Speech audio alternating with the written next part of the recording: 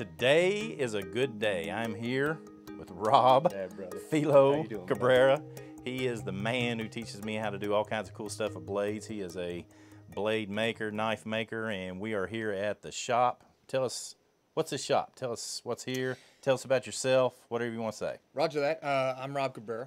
Everybody knows that. Thanks for the intro. Yep, Appreciate it. yep. Uh, welcome to the Chop Shop. So this is the home base for all knife making. That's I'm involved with, which would mean Double Star Blades, Filo Blade Works, which is my own personal brand. And this is where it all happens. This is where all the R and D R and D happens. This is where all the development happens. This is where the making happens.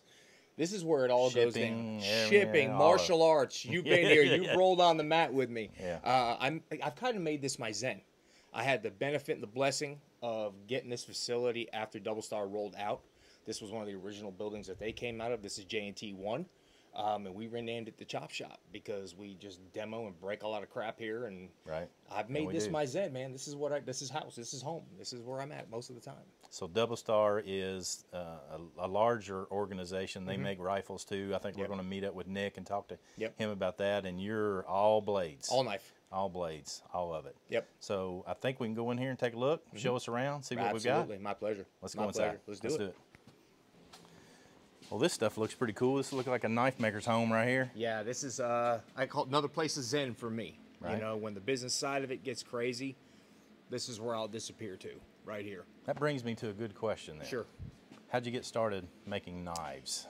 Uh What got you here? yeah, to kind of keep it short, um, the, the the pivotal point in time where it all changed. I like everybody else. I ran around as a kid, grinding up files and all that. Yeah, right, fine, whatever.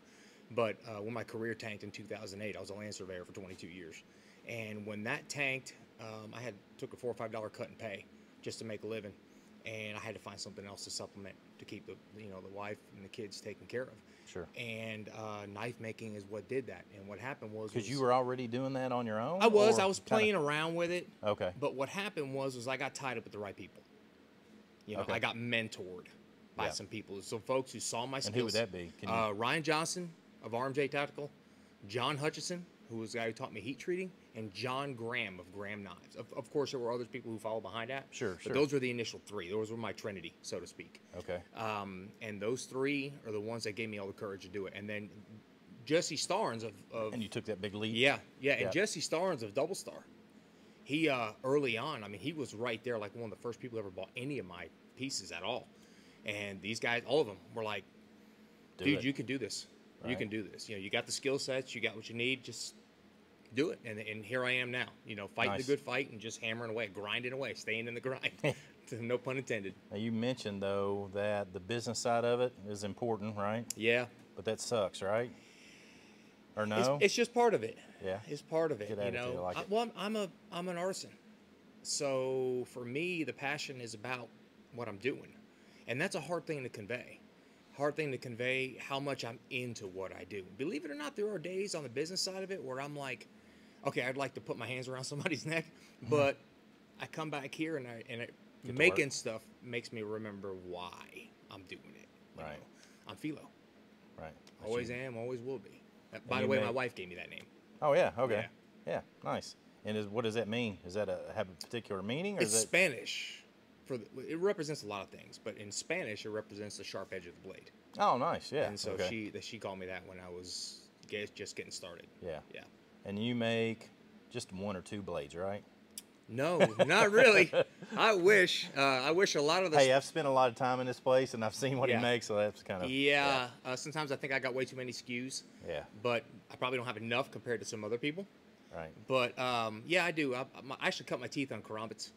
That's really one of my first passions is karambits. You probably should say the reason I got to know you even more was martial arts training. Yeah. Tell us about that. Yeah, well, I'll go ahead and kick off with you. You're a judo guy, and I had a gap that I needed to fill. Um, I looked for you, and then you know we met up, and I'm a Kali guy.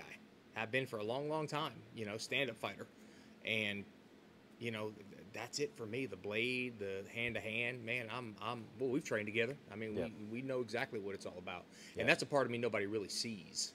They don't understand that part. That you know, we, I mean, we know this because we roll, Right. but most people don't understand that I man, I, I love to tussle. I Right. love to fight. I love to, I love to, you know, turn it up. And that's one of the things I try to bring to you guys is that I bring people that aren't just making stuff for the sake of making and selling stuff. I bring guys like Rob to you that are making and utilizing and training and getting dirty and bloody and sweaty Yeah. with the stuff that they build and make. So yeah, good stuff. Yeah. Let's let's take a look around, see what you got here. Sure. Sound good? Let's have a walk. Yeah. Let's have a walk. And it's not just knives, right, bro? Nope. Nah, that's uh, that's actually the second piece that we cut out uh, for Double Star, designed by Filo Blade Works. Uh, this is their entry into the breaching world, which was the Wrath. Uh, when, when I produced these, it was called the Lobo. Hey, talk about that for a second before What's you that? get going. You talk about that being a breaching tool, which I really like because Yeah. a lot of people look at this as it's just an axe. It's not just an axe. No. Tell us what you have there. So in this in this I owe to Ryan Johnson. This is not something that I came up with on my own. I basically got plugged into his ethos and he set this mindset. It's a tool. You know, this idea that um, there's a lot of romanticization going on with these tomahawks now, but the bottom line is is this is a tool. It's meant to clear things, get things out of your way, um, whether they be metal, wood, aluminum, doesn't matter. But this is a breaching tool. This is for getting in and out of stuff when you need to. Uh, if it does anything else thereafter, that's just a bonus. Right. Whether you're chopping wood with it or whittling or making a fire starter or however, doesn't really Sure. matter. It's this whole idea of taking control of the situation that you're in at that point in time to help weigh the odds out. And you cut the top of a car off with it, right? Yes. yes. Which was a lot of work, brother. I think that's a, a point that I, I like to get across with tomahawks because Yeah. we talk about it, the romanticization of Yeah. it all, romanticism, whatever. Yes. They're just tools. Yep. You can use them for whatever, right? Yep. I get Okay. and I get a lot of flack Yeah. from like a lot of the martial arts guys Yeah. because there's this thing now. I mean, hell, I teach tomahawk. I mean, Sure. I teach it, but the bottom line is is that and, and again now the whole idea that it's a tool was really pushed on me and you know this because you spent some time with some tier one guys they, they sat they sat me down like right away and they're like dude i don't i don't know what folks have told you about this but the reality is this Right. it's a timed event Sure. that we do you know so i like to be i like truth Sure. you know i like to Yeah. keep honest and i think the honesty That's is why I've got you here today. Yes, I like honesty and being squared away with the consumers too. You know, listen, yeah, it's all fun games to talk about stuff like that, but the reality is this is a tool. That's it. And I built it to be a tool. Right. Two more spots I want to look at. I want to go look at the bench over here and you tell us about it, and I want to go in the other room. Sure. Tell us what's there. Yeah, Sound good? Let's sure. go over there. Let's do that. Yep. Rob, it looks like got a long bench of good stuff right here. Yeah, this is the magic, brother. So over here's the stropping station, right? And what do you do there? So generally, what will happen is during sharpening, it goes through. Th- some of them go through three stages, right? And then usually the last stage is somewhere around an 800 grit. After the 800 grit, we go to a strop. Everything gets stropped. Everything, even the harder ones like the karambits and the dracon, they all get stropped. Everybody. And then after it gets stropped, it gets carded and it runs over here to this area for it to get assembled. Okay, awesome. And this big marble piece right Yeah, here this guy me? here, this is the measuring station. This is where really this comes more into play on the Filo side for uh, measuring thicknesses, uh, setting primaries, things like that. More What of the mean? custom. What's a setting primary? So do what mean? you'll do is is you'll set your pri- you'll set your thickness of the blade, get all that trued up. Then you'll bring it over to here. You'll Dykem the blade, and then you set your primary thickness, which is usually twenty thousandths. In other words, the very thickness of where the cutting se- section is Oh, okay. that you'll set your primaries, and that's where we use a height gauge to do that. So we'll, we'll go ahead and set up there because we got a nice flat surface, set the height gauge, and that's how we mark where the actual primary thicknesses are going to go. Again, this is more of a, a custom knife making or a limited run kind of thing. Right. And this last little gadget here. Yeah. Okay. So when in production knife making, the question always comes, when is sharp sharp?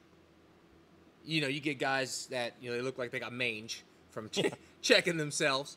Uh, I kind of got tired of doing that, so we went online and my, yeah, But you didn't have any hair on. you know, my wife literally said, "You got look like I got mange. You got some mange." So I got, I got to stop doing that. When you're doing two or three hundred knives at a time, or Yeah. just say fifty knives at a time, you kind of start running out of places to test the knives. so we got online. We found the BESS system, and I love the BESS system. It makes my life so much B E easier. S S. I noticed, not best, but yeah, best. best, the Best. best okay. system. They've actually set their own gauge. Uh, no, you cannot use fishing line to do this. It's actually a special. From what I understand, it's a glass infused cord You actually cut. Yeah, and you actually cut it, and it it gives you a number and it gives you a scale, and the scale is rated on beginning with razor blades and higher, Nice. production razor blades, and it scales it all the way up. That way you can make sure that all of them are the same. Yep, everybody's the same. Like uh, like my custom stuff, I'm usually scoring at about a 150 to real close to razor blade stuff. Production, we're at between a 250 and a 350, which Right. is just quality, high end manufactured cutlery. That's the way that works. Yeah. So let's go into the other room because I want to see. That's where we make the handles and stuff. That's where we do handling and we do kydex. Okay, let's check that out. All right, let's do that. So what is this big apparatus right here? Yeah, this is our uh, CNC router. This is uh, where we're able to generate and reproduce cool looking stuff and do it regularly. Stuff like kydex or handles or Uh, Yeah, okay. scales, handles, kydex, sheathing, sheathing Am I setups. using that word wrong? Is it scales or handles? Um, What's a most of us scalers, the the apparatus that you use to assemble a handle. Okay. The actual two sides of your G10 or your wood, we call them scales, but Okay. yeah, it's your handle assembly. right. Uh, and this is where we're able to do that. We're able to come up with ideas and reproduce it. For a double star, the main thing that this is used for is mass production of kydex. Okay. That's it. To where I can generate hundreds of units of kydex. Just, Quickly. Yeah. Yeah. And you did uh, you did all the setup. You did all the CAD Yep, design. all the CAD, all the designing. All of it. Yep, and then what I did, they were nice enough to give me a, ha- a helper half the time, and he, I basically, he already had machining experience, so I said, listen, this is how I'm doing it. Don't be afraid to give me input. Let's do it better every time. Sure. So, but now we've got to where we can produce hundreds of units, just rotate them right out, you know, without a problem. But it was processes that I came up with that got us to where we're at. And there, you know, again, I hate to take credit for it in that way. Yeah, but no. it took a lot of hard work, Sure. a lot, a lot of, Yeah, lot, lot of of sweat work. equity. Yeah. Right. And this big honking thing over here. You know, What is that that is the simplest thing that we've got in this room, but by far that machine makes production kydex possible. That's press or what? Yes, Yeah. that is a 24 ton clicker press, and I and again I'm not going to take credit for that. The whole the whole idea of using that in kydex production or anything came from Ryan Johnson. Mm-hmm. Uh, he had told me at some time earlier, he said, "Brother, I'm using this. This thing's amazing for generating primitives." So I Get said, one. "Tell me about it." Well, no, he cut me a tremendous deal Oh. on that one. Oh. Okay. I said, "I got one. If you want to come get it," I said, "I'll be right down." nice. So down to Chattanooga we went, down to RMJ, and they did. They gave me a horrendous deal on this, and here it is. And it's and it makes what I do possible, really. Right. I mean, because it overflows into Filo as well. Because like right now I'm getting into making trainers and things like that. Well, I can make production kydex for those trainers and just Boom. just Nice. roll them out. Roll When you out. say trainers, I mean I know, but just for everybody else, you make training tools so that we can. Yeah. Because I do this with you. Yep. We use training tools so we can actually stab and cut and slice and dice and Yep, yep. and not actually cut each other. yeah, yeah, Which- and it's, it's and what's that material that you're using? Well, I use two types. I use aluminum for the stuff that we really, you Mm-hmm. know, that you want to try working a lot of your strips and stuff. But the one that I'm really starting to like is uh, HDPE, uh, Okay. which is basically a plastic, a Right, heavy sure. plastic, but it's really tough. Right. Um, and it's nice because you don't really have to worry about hurting your training partner. right. They can take some licks. It Although your feels really stabs good. with those things still hurt. Yeah, they so still. You, You, can feel them. Yeah, you can feel them. but I don't have to worry. We got to worry about going down to Winchester to the hospital. You know. I've come home and Jennifer's like, uh, "You've been Black training with. Rob." Blues, yeah, yeah. got a little bruise. Okay, let's move on over here and see what we have. Uh, sure. And what's this part right here, my friend? Well, this is uh, this is the vacuum molding station. This is where we vacuum mold. This is just a, a heat press that we use, and we've got some special settings that we've got and changed the kind of the configuration of it to be able to do kydex. Um, and we use that to heat the kydex or the thermoplastic to be able to form it. We make all of our own molds here. Anything that's too obscure, I send it down to the big machine shop and just mold it out of aluminum. I mean, mold, yeah, cut it out of aluminum, and then we use it to When you say the big machine shop, that's at Double Star. That which you'll be visiting Yeah. there. Yeah, those guys. Uh, for me, when it comes to my more complex fixturing and stuff like that, they're invaluable. Uh, Tom Vagaski down there in that machine shop, he works hand in hand with me. We speak the same language, and he's able to help me get a lot of stuff done on both sides of the ball, not just double star, but also Filo as well. okay, nice. Well, let's head back into the big shop and we'll finish her up. Yeah, let's do it. Sounds good. Everybody's got a patch wall. Yeah, That's one of the bunch right there. there, son. That's right. That's right. That's right. So these are all folks that you've probably done work with or Yeah. something of that nature. Yeah. Yeah, I'm very proud. Uh, Good it took me a long time to do this Yeah. because I didn't want to be cliche. I wanted to have stuff that I wanted to put out. Um, for me, I don't know. It's just uh, I get to look up and see a lot of people that I enjoy doing business with. Right. For me, that's that's you know a big deal for me as far as these patches go. Sure. You know, Dude, always appreciate pleasure, you, brother. Thank you I very much. really appreciate everything you do with me and taking everybody that follows us on a Yeah. tour what you do. Check out Double Star Blades. Check out Filo Blade Works. Going to be a real big. When's it coming out? rebranding the the whole brand Fourth of July. Fourth of July. So check that out, and we appreciate you as always. Come on, join in. Let's learn together. All right.